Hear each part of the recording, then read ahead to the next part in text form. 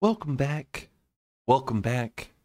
Welcome back, everybody, to another chapter and another part of A Court of Mist and Fury, written by Sarah J. Maas, read by yours truly, Freewata, with the exclamation point for the added emphasis. Yes, again, my friends, just to say, we have made it to part three the House of Mist. In this epic saga that we're continuing, man, this has been a quite a read. This third part actually seems like it bust.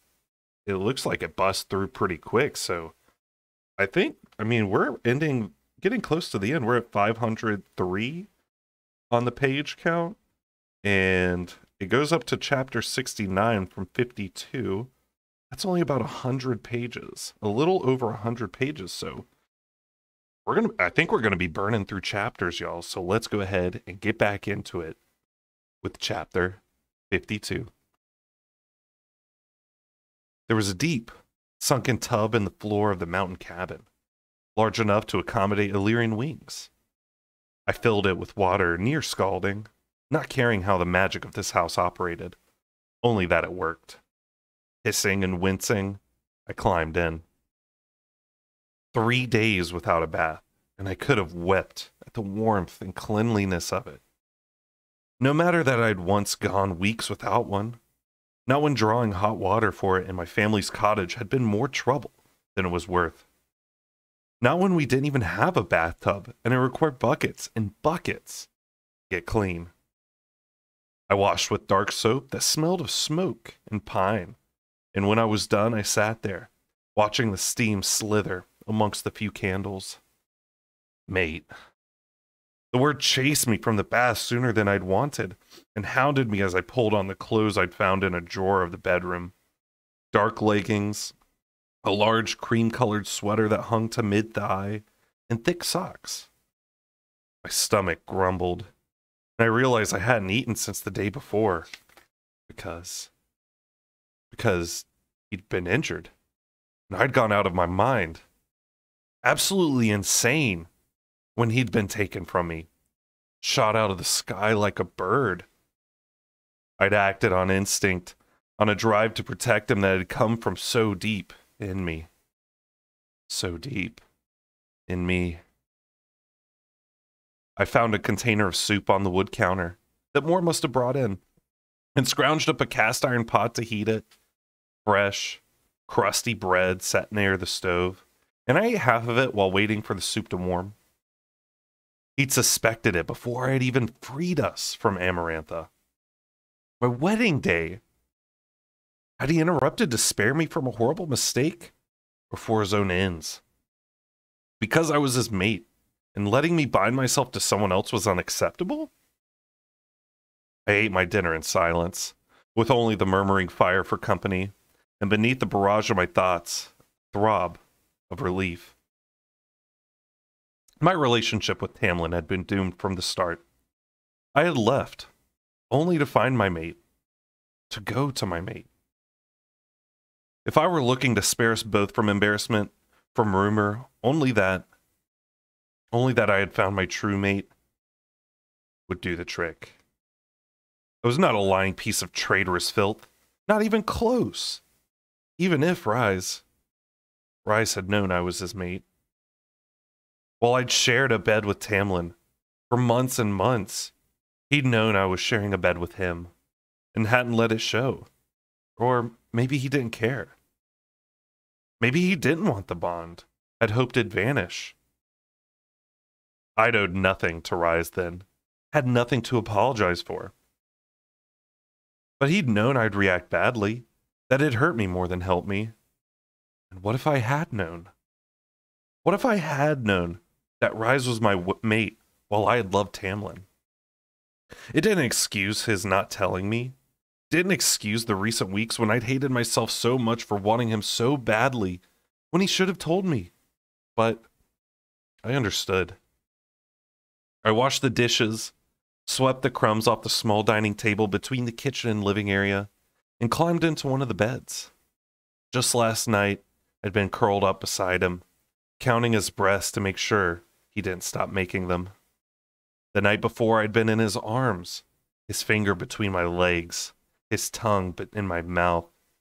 And now, the cabin was warm, sheets were cold, bed was large, empty.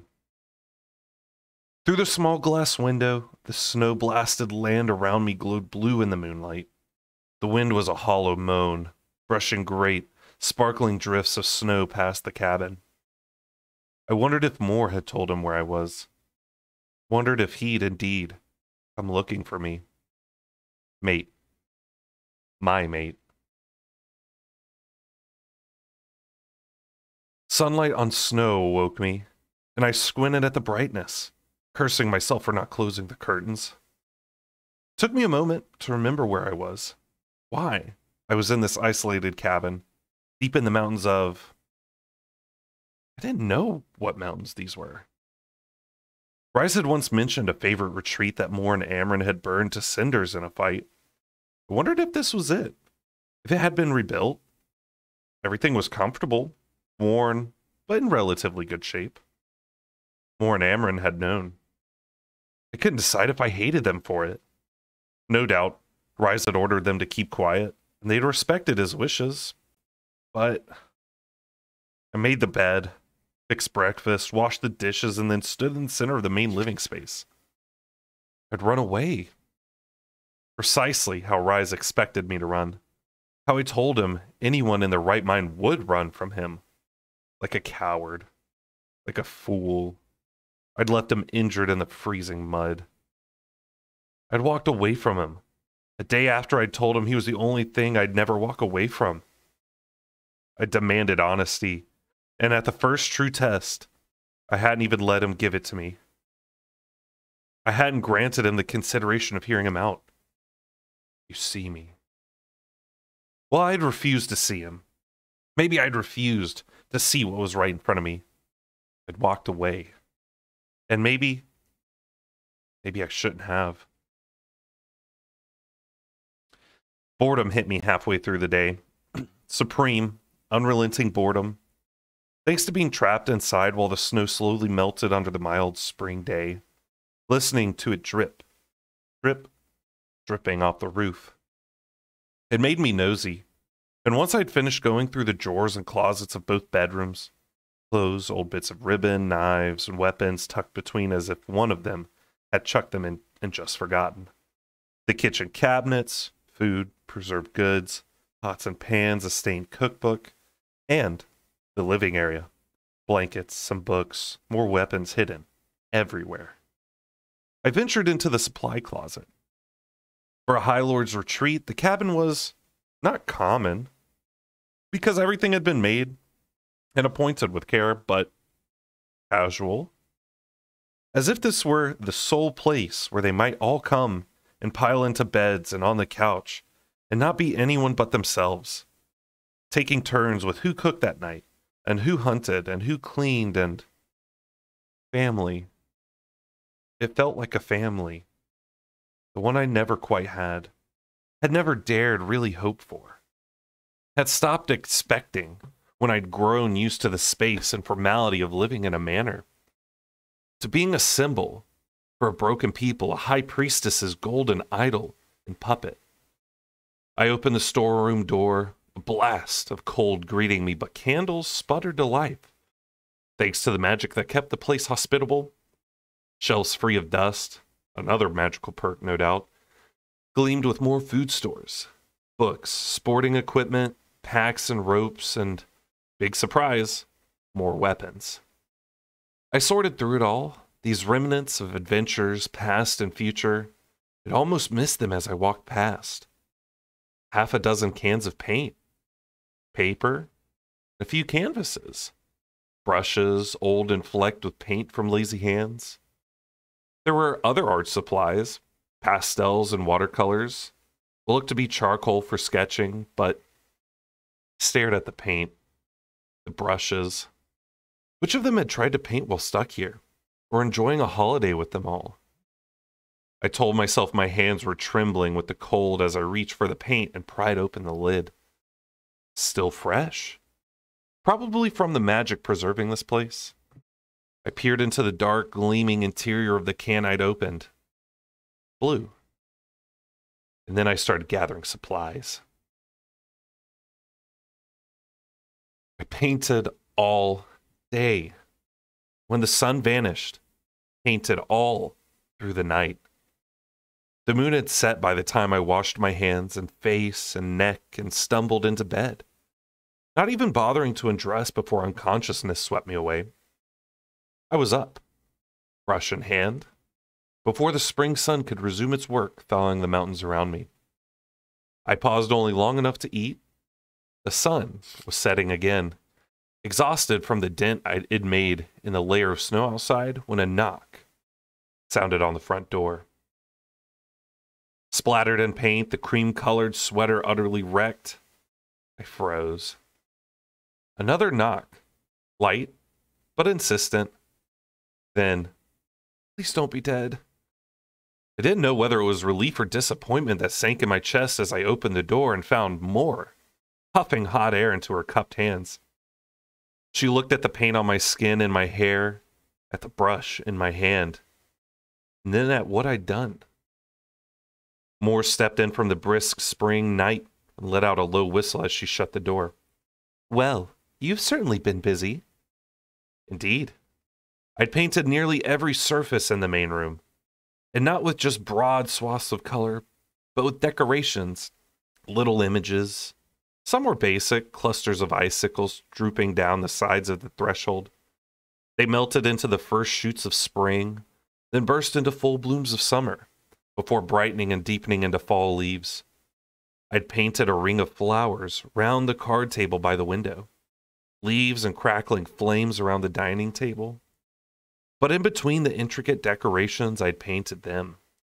Bits and pieces of Mor, Cassian, Azriel, Amren, Rhys. Mor went up to the large hearth, where I'd painted the mantle in black shimmering with veins of gold and red. Up close, it was a solid, pretty pit, pretty bit of paint. But from the couch, Illyrian wings, she said. Ugh, they'll never stop gloating about it but she went to the window, which I'd framed in tumbling strands of gold and brass and bronze. Mor fingered her hair, cocking her head. Nice, she said, surveying the room again. Her eyes fell on the open threshold to the bedroom hallway, and she grimaced. Why? she said. Are Amren's eyes there? Indeed, right above the door, in the center of the archway, I'd painted a pair of glowing silver eyes because she's always watching. Mor snorted. That simply won't do. Paint my eyes next to hers, so the males of this family know we'll both be watching them the next time they come up here to get drunk for a week straight. They do that? They used to. Or Amarantha.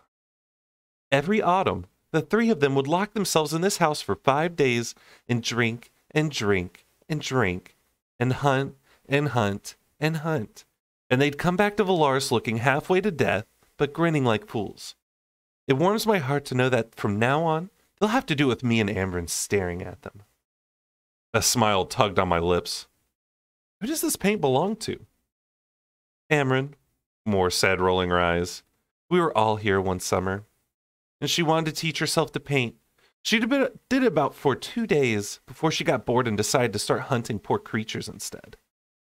A quiet chuckle rasped out of me. I strode to the table, which I'd used as my main surface for blending and organizing paints. And maybe I was a coward, but I kept my back to her as I said, Any news from my sisters? Mor started rifling through the cabinets, either to look for food or assess what I needed. She said over her shoulder, No, not yet. Is he hurt? I'd left him in the freezing mud, injured and working the poison out of his system. I tried not to dwell on it while I painted. Still recovering, but fine. Pissed at me, of course, but he can shove it. I combined Mor's yellow gold with the red I'd used for the Illyrian wings and blended until vibrant orange emerged. Thank you for not telling him I was here. A shrug. Food began popping onto the counter. fresh bread, fruit containers of something that I could smell from across the kitchen, and made me nearly groan with hunger. You should talk to him, though. Make him stew over it, of course, but hear him out. She didn't look at me as she spoke. Rhys always has his reasons. And that he might be arrogant as hell, but he's usually right about his instincts. He makes mistakes, but you should hear him out. I'd already decided that I would, but I said, How was your visit to the Court of Nightmares? She paused, her face going uncharacteristically pale. Fine. It's always a delight to see my parents, as you might guess. Is your father healing? I added the cobalt of Azriel's siphons to the orange and mixed until a rich brown appeared. A small, grim smile. Slowly. I might have snapped some more bones when I visited. My mother has since banished me from their private quarters. Such a shame. Some feral part of me beamed in savage delight at that. Pity indeed, I said. I added a bit of frost white to lighten the brown, checked it against the gaze she slid to me, and grabbed a stool to stand on as I began painting the threshold. Rhys really makes you do this often? Endure visiting them? Mor leaned against the counter. Rhys gave me permission the day he became High Lord to kill them all whenever I pleased. I attended these meetings, go to the Court of Nightmares to remind them that sometimes, and to keep communication between our two courts flowing, however strained it might be. If I were to march in there tomorrow and slaughter my parents, he wouldn't blink. Perhaps be inconvenienced by it, but you'd be pleased.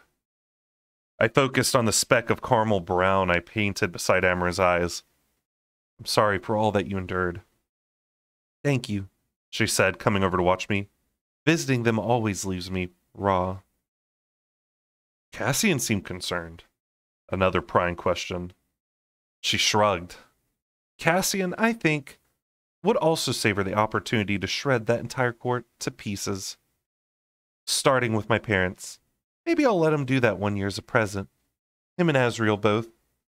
It'd make a perfect solstice gift. I asked, perhaps a bit too casually, you told me about the time with Cassian, but did you and Azriel ever? A sharp laugh. No, Azriel? After that time with Cassian, I swore off any of Rhys's friends. Azriel's got no shortage of lovers, though. Don't worry. He's better at keeping them secret than we are, but he has them. So if he were ever interested, would you? The issue actually wouldn't be me, it'd be him. I could peel off my clothes right in front of him, and he wouldn't move an inch. He might have defied and proved those Illyrian pricks wrong at every turn, but it won't matter if Rhys makes him Prince of Velaris. He'll see himself as a bastard born nobody, and not good enough for anyone, especially me. But are you interested? Why are you asking such things? Her voice became tight, sharp, more wary than I'd ever heard. I'm still just trying to figure out how you all work together. A snort. That wariness gone. I tried not to look too relieved. We have five centuries of tangled history for you to sort through. Good luck. Indeed. I finished her eyes, honey brown to Amren's quicksilver, but almost in answer, Mor declared, Paint Azriel's next to mine, and Cassian's next to Amren's. I lifted my brows, Mor gave me an innocent smile. So we can all watch over you. I just shook my head and hopped off the stool to start figuring out how to paint hazel eyes. Mor said quietly, Is it so bad? Be his mate? To be a part of our court? Our family, tangled history, and all? I blended the paint in the small dish, the colors swirling together like so many entwined leaves. No, I breathed. No, it's not and I had my answer. That, my friends, was the end of chapter 52. Okay. You know, I, I guess I guess I maybe I'm t- a little too hard on Feyre sometimes, you know. We all probably go through that kind of mixed range of emotions in our brain, especially when you're in a situation like that. I've come back now, I've thought about it just like Feyre has come back and thought about her relationship with Rhys. And you know, maybe I, I wish we could all get away that we could just take a retreat into a nice mountain cabin, you know, and get to think to ourselves, but we're not all given that opportunity. So take the times that you can think by yourself, you know, to think about some of these things, I guess, that may be going on. Um, hopefully, hopefully nothing too crazy going on, but you know, it's that's what it's there for.